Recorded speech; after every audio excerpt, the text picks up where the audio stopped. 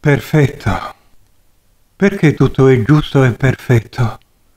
Commento. Perché è divino.